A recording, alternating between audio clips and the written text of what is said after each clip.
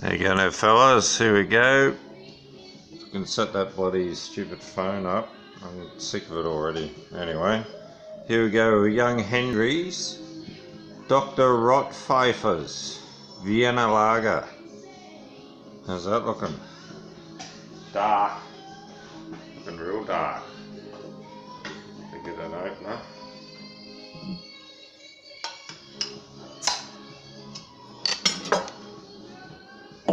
A big bot. Just can fill the glass, that's always good. Hate it when you get a little bottle from overseas, 330, and it doesn't fill the glass properly. Anyway, this has. So if you know Young Henry's, I'll just tell you about it if I can.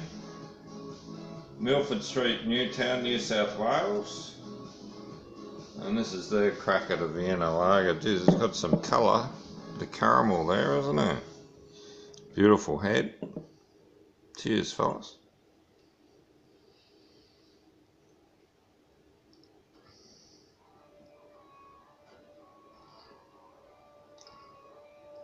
Lovely bouquet on it. And it's uh, actually really smooth. Mmm.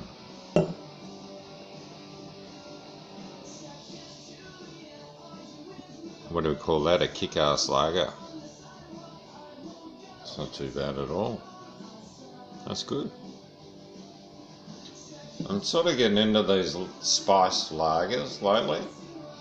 They've got a bit of colour. they've got plenty of malt, and they're sort of flavoursome. Oh, yeah, it's good.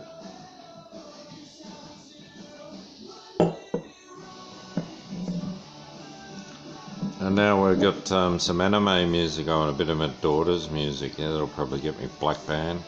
5.3%. You see that one out there, fellas? It's worth buying it just for the label. I like the label.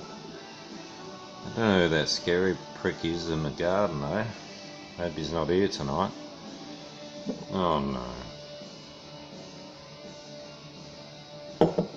Nice beer. Thanks for coming. A decent sized bottle too. What's that? 2.7 standard drinks for the bot. 640 mil. Alright, not 750. But not too bad, better than 500. Alright fellas, travel story. Tell you about first time I went to Thailand and I've rocked up I had no idea what to do in Koh Samui, and they've sort of gone to different bungalows on the way around the island, and you sort of check them out, and they go, "Oh, this one you can stay 75 cents a night," and it was really basic. You had to share the toilet and shower. It was on a pretty average beach.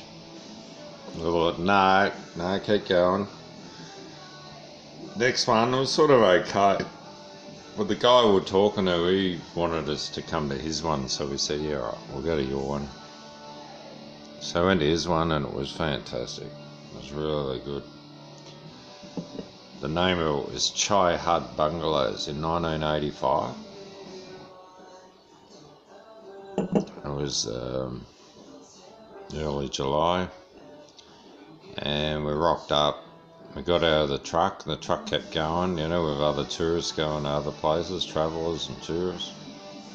Just got off the ferry. And uh, we walked up, and there's the sign Chai Hut Bungalows, Sea and Magic Food. And there's a picture of a fish and mushrooms on the sign. And I thought, hang on a minute, what have we done here? This could be interesting. And it was. One of the first things they took me to was the uh, water buffalo fights. And the guy from their village, Bo put his buffalo won.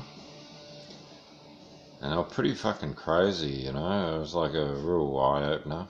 Because we don't have water buffalo fights over here.